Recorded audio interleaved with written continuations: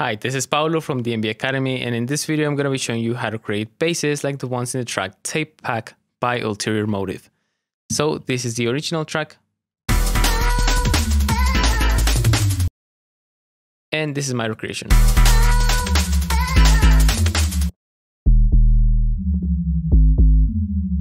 But before we get started with the video, make sure you get subscribed to the channel, hit the notification bell to not miss any for future videos, and if you want to get access to this preset, you can become a member of Preset Pass. Link is in the description. So with that being said, let's get into the video. Okay, so here I have an initialist patch, and the first sound we're going to be creating is the sub.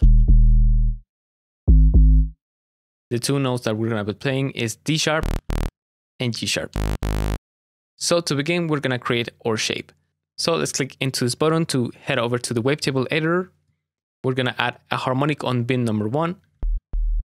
And then we're to add another one on bin number three. What we're aiming for is to create kind of a square waveform. So we're to add another one on bin number five. Good enough. And now we can go into the effects, add a bit of distortion, add some chorus, but change the low pass filter to high pass filter to just affect the upper harmonics. Let's bring the mix down. And we're gonna add some gain with a compressor. And now we have a pretty powerful sub. One thing to add is just a bit of movement to create kind of an 808 type of envelope. So we're gonna bring the sustain down. Add a bit of release. And then we're gonna add a transient into the sound by mapping an LFO into the coarse pitch of oscillator A. And instead of having that movement, we're gonna hold shift and alt, click on the modulation, and create a short falling shape on LFO number one like this, set it on envelope, and now we have a cool attack into the sub. If you want a less aggressive attack, you can always change LFO number one and its shape. In this case, I'm gonna leave it like that. So now let's jump into the next sound of this riff, which sounds like this.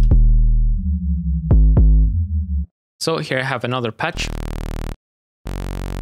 The two notes that we're gonna be playing is D sharp and F sharp. But there's something special about these notes, and that is that they have a bit of pitch bending. So they have a falling movement like this. And so you have to automate the pitch bend wheel on your DAW. In this case, this is how I made it. Now let's go back into Serum. And we need to change the waveform that creates this sound. So once again, let's click on this button to go into the wavetable editor.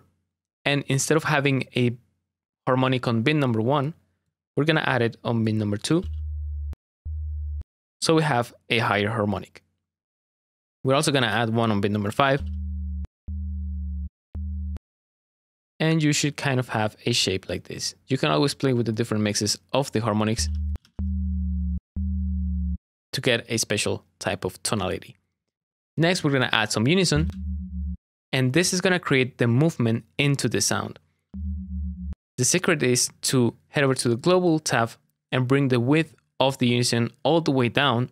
So now this unison works as if we were to have a duplicated of this waveform and the detune knob as the distance in pitch between these two waveforms.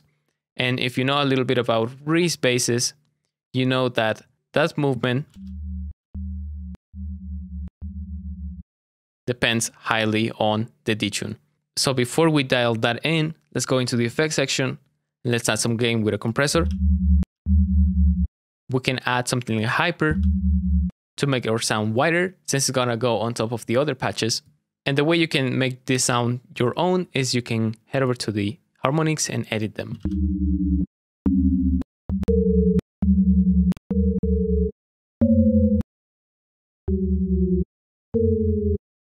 In this case, we're going to keep it simple and just use the two harmonics that create the sound. We're going to keep the unison in 38. And now let's play this in context.